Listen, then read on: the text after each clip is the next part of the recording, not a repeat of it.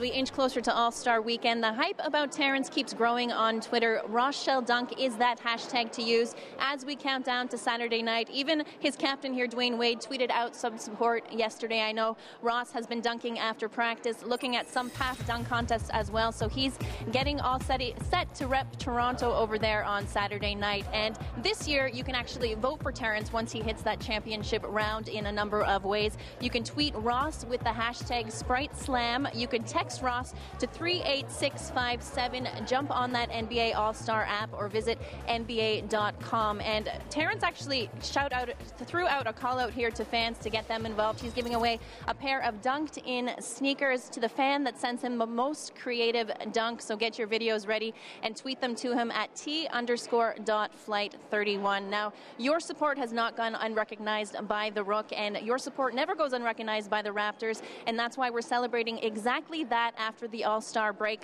on February 22nd. It's fan night here at ACC, where you get to help choose the in arena entertainment. We're giving away 10,000 Kyle Lowry bobbleheads. We've got Young MC performing at halftime and more giveaways than ever. So make sure you come and join us. Visit Raptors.com for tickets and join us in that game night chat. Once again, the hashtag is RTZ. We're giving away a pair of tickets to the tweet of the night. Once again, you can come see Ross Dunk live. Remember to vote, fans. David, it's back to you.